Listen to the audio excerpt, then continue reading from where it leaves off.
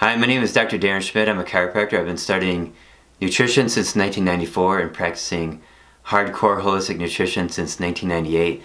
Along the way, I've learned some amazing, fantastic information, and I want to share with you what I learned in 2016. It's the most common mechanism of chronic disease. It was forgotten after 1961. Nobody's talked about it since then. It's called lactic acidosis. Back in the 1930s, it had a different uh, definition as to what it is now.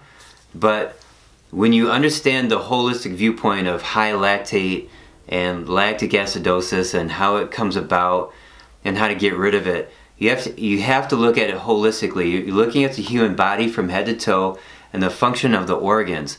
Now, as we get sicker, in um, as we get older, we have high blood sugar, which there's a drug for. There's high insulin, diabetes, which there's drugs for diabetes. There's dyslipidemia, meaning high cholesterol, low HDL, high triglycerides.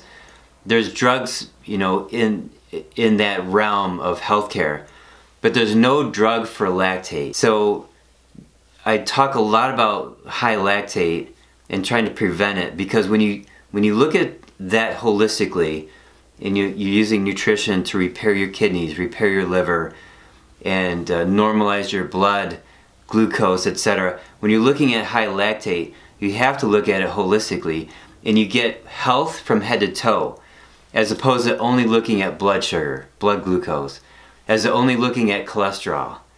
So that's why looking at lactic acidosis is very important as it's defined in the 1930s. They had a better definition for it back then than we do now. So I talk about this in this blog. So click on the link below to learn more. And um, I want you to, to think holistically and nutritionally um, when you're trying to improve your health because everything's connected to everything inside here. You can't just treat one um, hormone or, or one factor on your lab test. Look at the whole body and not just one thing.